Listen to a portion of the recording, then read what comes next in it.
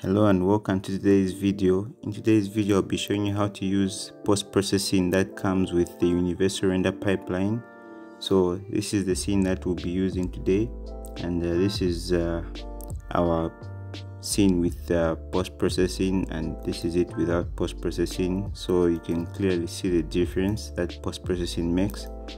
And uh, one thing to note here is that you will not need uh, the post processing that comes with the package manager you will not need to install that post processing that you find in the package manager.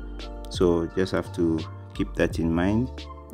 Uh, once you create uh, a new project using the universal render pipeline you have to set up uh, a few things and those few things i'm about to show you. So with that said let's begin the video and uh, yeah okay so here i have a clean scene. So the first thing that we're going to do here is um, we're going to go to our game object there. We're going to say create an empty. And uh, this empty I'll just rename it.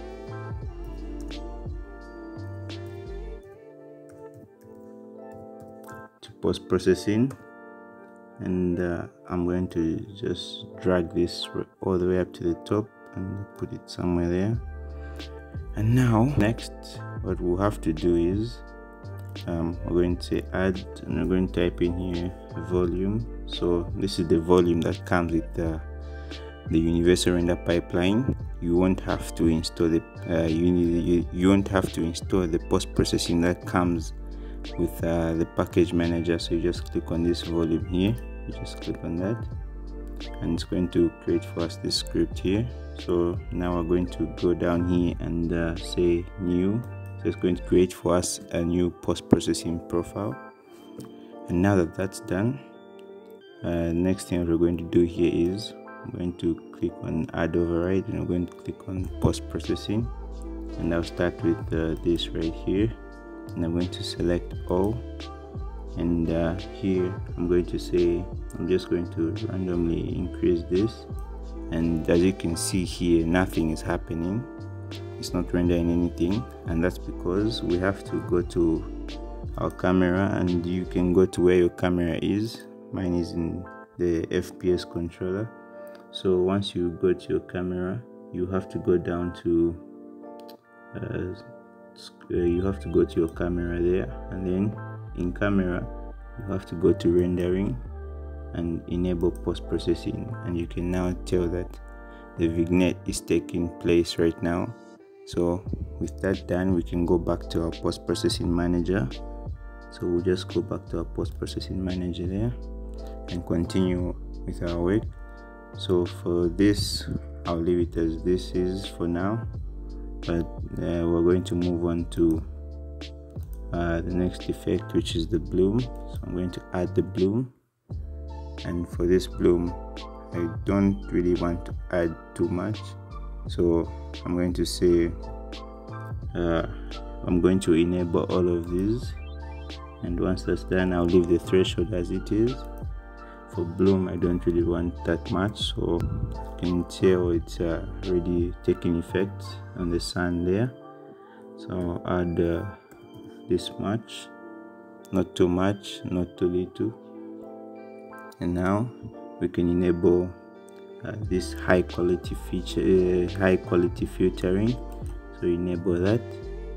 And next what we're going to do is we'll move on from uh, this pack to our vignette. So in our vignette i think uh, we can play around with the smoothness. So in the smoothness i'm going to say uh, let's add a bit more there. Maybe about that much. Um, yeah it looks uh, quite okay. Uh, we're going to move on. I'll just close this up here and close that one too. Oh no not that one. This one. And going to add another override. And our next override that will be adding will be um we'll add the channel mixer. So channel mixer and we'll move to blue section here. We're going to say enable all and now for the blue section here we're going to let's go for negatives here. Specifically that's too much. So let's uh, type in here maybe if 10 uh, no let's go for maybe 6 okay that will be enough now. And then on the green here we're going to try to, let's see how much we need too much blue. Uh, let's let's try some random numbers 20 how, how does 20 look? Okay. 20 looks okay but uh, I want a bit more. I'm going to say maybe 30 yeah I'll go with 30 for now. And uh, the blue here we'll leave it as it is. Now we'll move on to the next part of the channel mixer which is on the green. So here on the green we're going to say let's try this. Let's go for a negative. It's way too much. Let me just uh, manually input that. So negative 4 maybe. Subtle change but uh, it's there then here we'll leave this green on 100 and uh, I think also for the blue here um, uh, we'll leave the blue on 0 and let's just move on to the red. And on the red we're going to say we'll leave this as 100 this is just okay here. What we want here is the green. So we're going to say maybe 30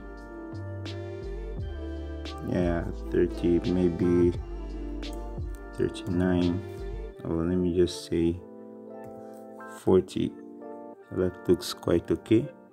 So 40 is what we're going to go with okay?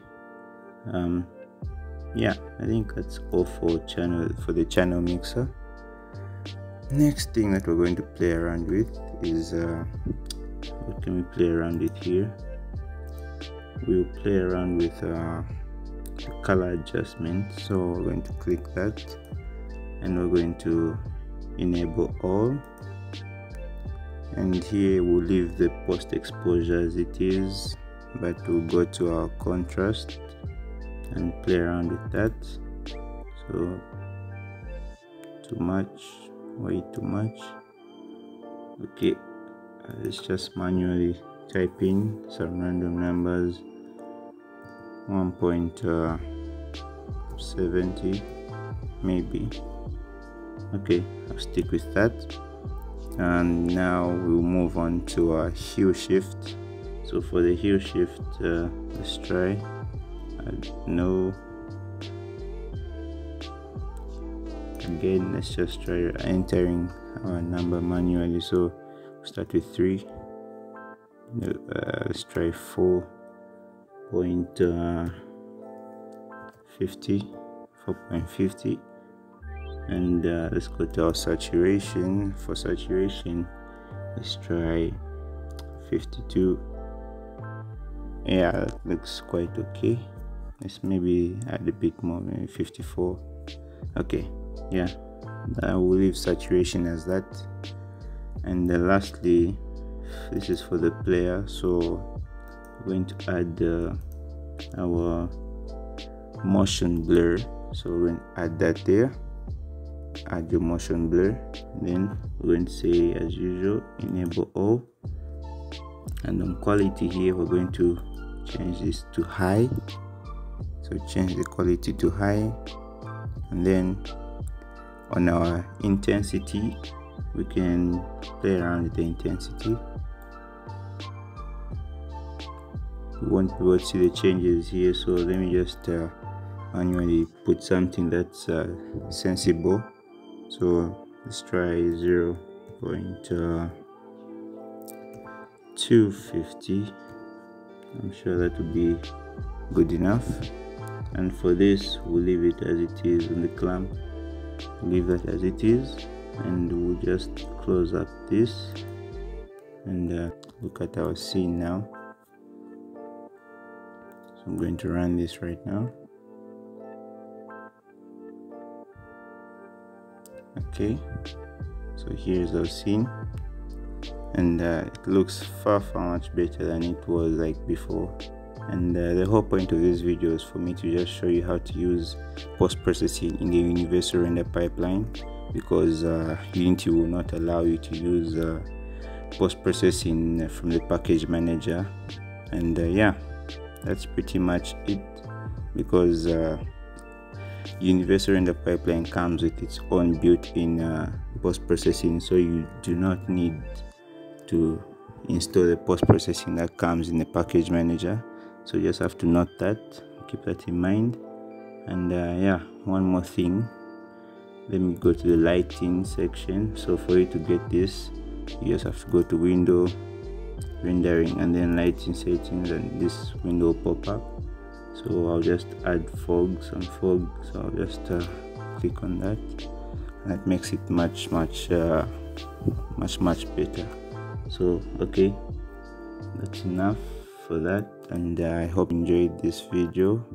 And if you found it uh, useful and helpful then please uh, leave a like share and uh, subscribe and uh, with that said uh, i hope you learned something thanks for watching and i'll see you in the next video. And uh, yeah goodbye